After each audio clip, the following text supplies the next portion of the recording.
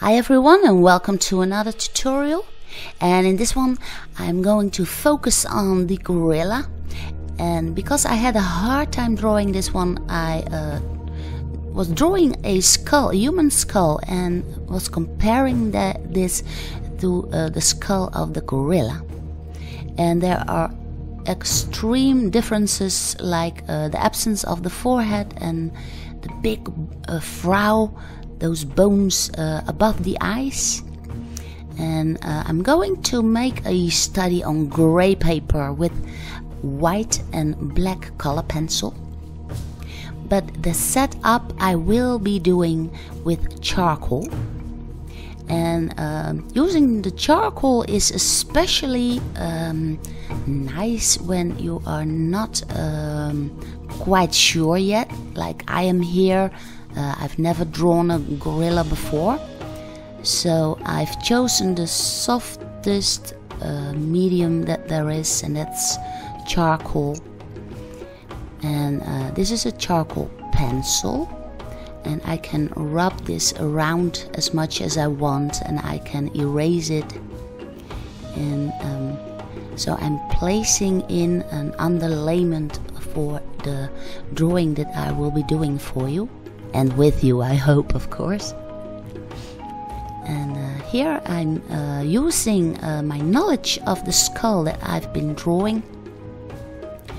And, um, well, the, the snout itself, the, the, the beak, I don't know, um, uh, let's say the mouth itself is really uh, up forward, while the nose is really flat and uh, there's uh, quite a big chin actually.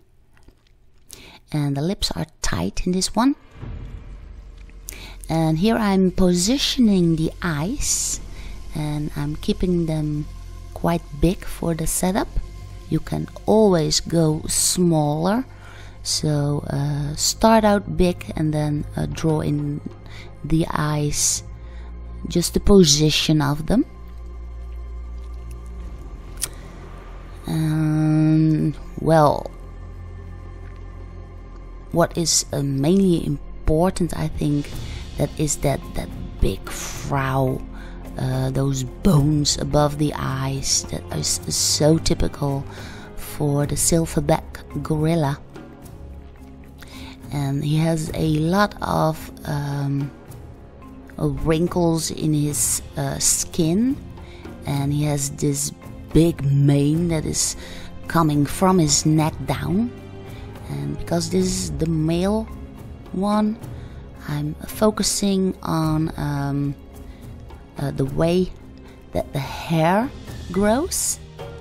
So I'm uh, drawing in the direction of the growth of the hairs, which instantly means that I will get um, an, an organic effect and the ear itself is quite like a human. It's more flappy.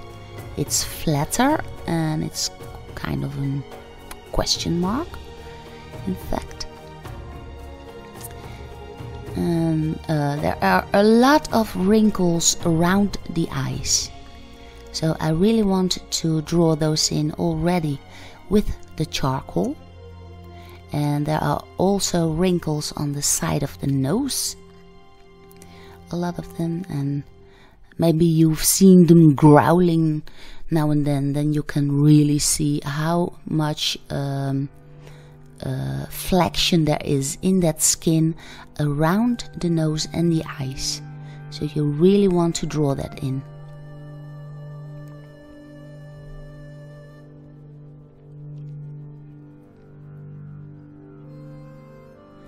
Here for the mane I'm also drawing in the direction of the hairs. And I'm simply putting an underlayment with all that charcoal that I can stir around later. And the beak itself is quite dark so I also draw that in. And I'm, as you can see I'm sparing out just a little stripe uh, just above the, the opening of the mouth. and yeah put in a little extra darkness around the ear so that uh, the ear really pops out. Well okay. So here's my setup. And what I will be doing next is to blend in the powder of those of the charcoal into the paper. And here I'm sparing out the parts that I want to keep light. So I simply rub it in rather precisely with the blender stick. And then I rub it all in. So now my hand is black but I don't mind. And as you can see here this is my pencil eraser. And maybe you want to stir around a little bit in it more. I do not have to so much. And then I simply pick up my white color pencil. And as I was saying because I'm using a gray uh, light gray paper I can excellently draw in with the white. And what I do here is uh, simply focusing on the hairs that, that are white but also uh, the light that is hitting our model, the gorilla. And you can see how easily you can draw over uh, the remains of the charcoal.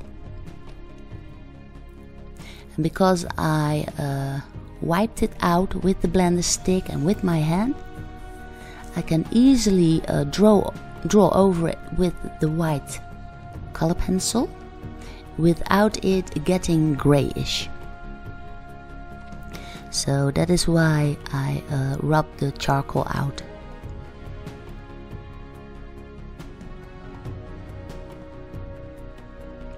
Also uh, with the white pencil I keep following the direction of the hairs.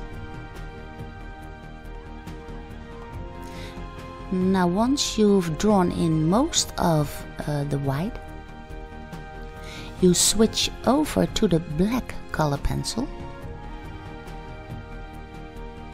And with that black color pencil, you can draw in all kinds of nice detail.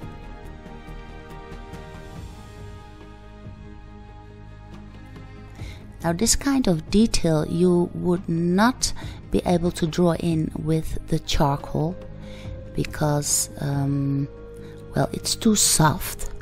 So you cannot put in a little pupil or um, a tiny line. You can do it but it will not be as black and as sharp as your color pencil will be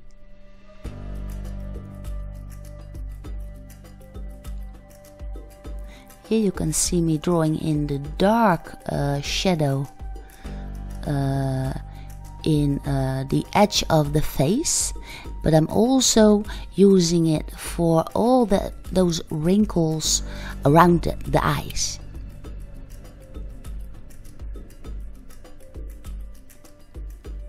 Also the inside of the ear, the earlobe and the shadow around the ear so that the ear really pops out. And what is also very nice about this technique is that you can really get that furry look. And it's it's sturdy hair, it is uh, thick hair, and and this technique really uh, makes that hair pop out.